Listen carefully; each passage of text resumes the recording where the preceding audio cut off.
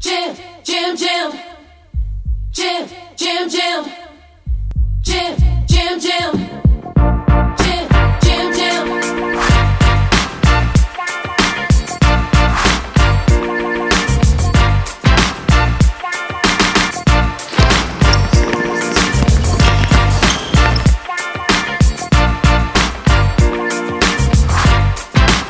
I win only once. We are improving. Uh, pretty fun, yeah.